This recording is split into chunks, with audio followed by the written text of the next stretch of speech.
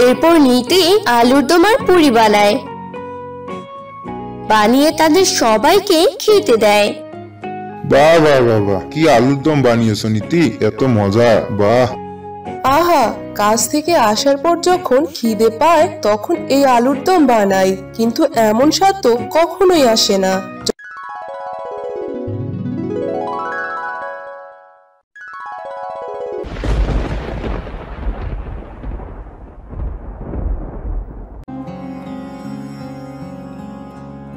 মা নীতি আর দুটা আলু পরোটা নিয়ে আয় জলদি। আমার কাজে যেতে দেরি হয়ে যাচ্ছে। হ্যাঁ বাবা আনছি। পেট ভরে গেছে কিন্তু মন ভরে না। মাটা যে এত ভালো রান্না করতে শিখে গেছে এখন তো তোর মাও নেই রান্না করার মতো। কিন্তু তুই এত ভালো রান্না কই থেকে শিখলি? ওই তো লামিমের দাদি সব রান্না করতে পারে সব ধরনের রান্না পারে। উনিই আমাকে সব শিখিয়েছেন উনি আমাকে অনেক আদর করে। তাই নাকি? তবে কাল তোমার জন্মদিনে ওনাকেও দাওয়াত দিও। ঠিক আছে বাবা কালকে আমার জন্মদিনের জন্য ফ্রগ নিয়ে আসবে কিন্তু। আচ্ছা মা নিয়ে যাব। দে দে আমার টিফিনটা দে কাজের জন্য দেরি হয়ে যাচ্ছে। কাল নীতির জন্মদিন। নীতি আর ওর বাবা নয়ন এ নিয়ে অনেক খুশি। কিন্তু এই খুশি বেশিক্ষণ জুটল না নীতির কপালে। কোম্পানিতে কাজ করার সময় গ্যাস সিলিন্ডার বাস্ট হয়ে আট থেকে নয় জন সহ নীতির বাবা নয়নেরও মৃত্যু হয়। নীতির আর আপন বলতে কেউ রইল না। নয়নের মৃত্যুর পর নীতির দুঃসম্পর্কের একটা বোন এসে নীতিকে নিয়ে যায়। সেখানে নিয়ে যেতেই যেন নীতিকে কাজের মেয়ে বানিয়ে নেয়। মুন্নি নীতিকে দিয়ে সব কাজ করাতো। যদি কাজে কোনো ভুল হতো তো মুন্নি নীতিকে অনেক মারতো।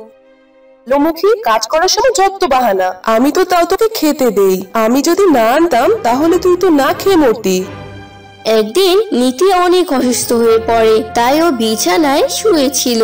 আর মুন্নি ওর কাছে গিয়ে বলে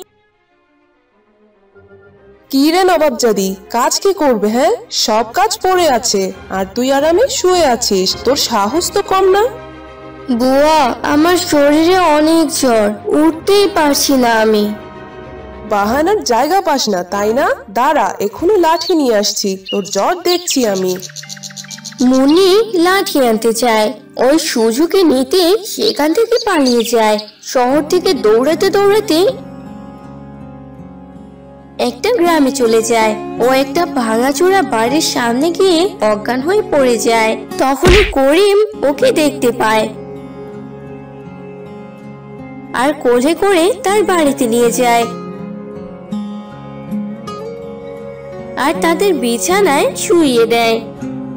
কণিকা দেখো এই মেয়েটাকে বাইরে অজ্ঞান হয়ে পড়ে পেলাম। কি মিষ্টি মেয়েটা তাই না?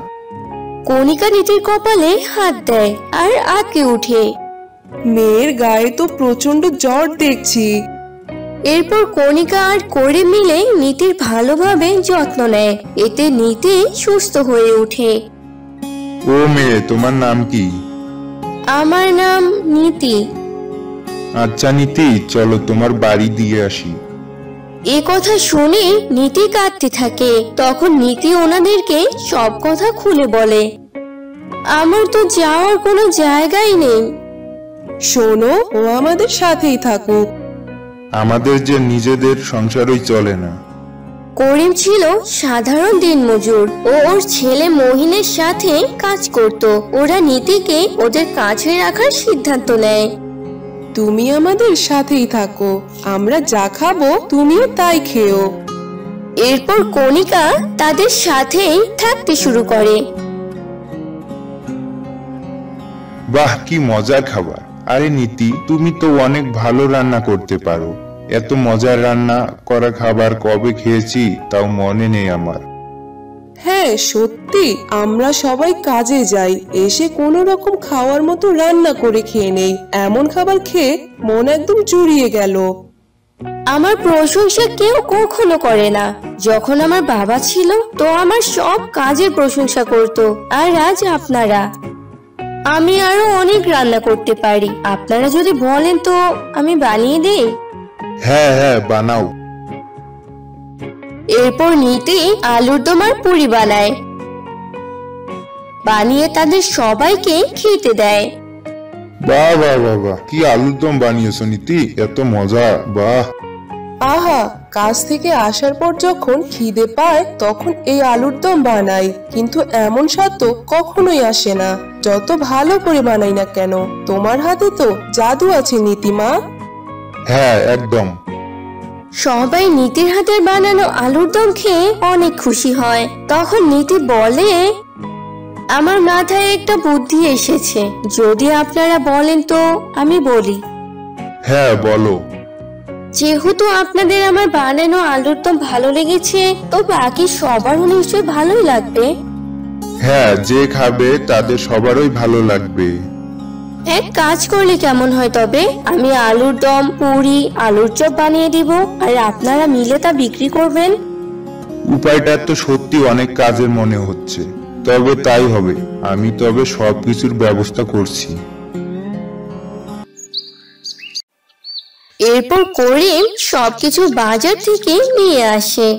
আর নীতি আলুর দম, আলুর চপ, পুরি বানানো শুরু করে।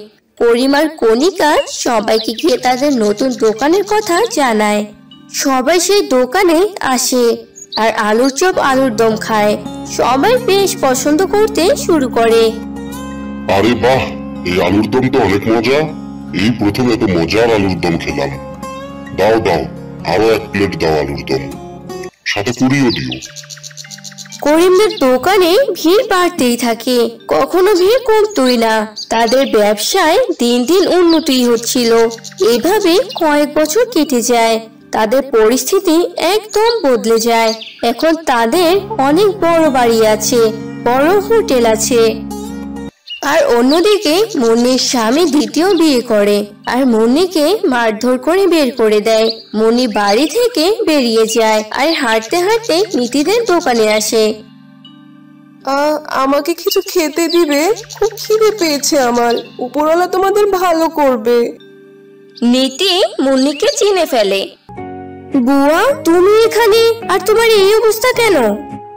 তখন মুন্নিও নীতিকে চিনে ফেলে আর সব কথা খুলে বলে। বিপদে অন্যকে সাহায্য করতে হয় কিন্তু আপনি তার সুযোগ নিয়েছিলেন। তার উপযুক্ত শাস্তিও পেয়েছেন আপনি। এরপর মনে ভালো হয়ে যায় আর নীতিদের সাথে দোকানে কাজ করে তাদের সাথেই থাকতে শুরু করে। তো বন্ধুরা আমাদের আজকের গল্পটি তোমাদের কেমন লাগল? তা কমেন্টে জানিয়ে দাও। আর এমনই সব মজার মজার গল্প ও কার্টুন দেখতে আমাদের চ্যানেলটি সাবস্ক্রাইব করে বেল বাটনে চাপ দাও। আর হ্যাঁ বন্ধুরা লাইক কমেন্ট ও শেয়ার করতে ভুলো না।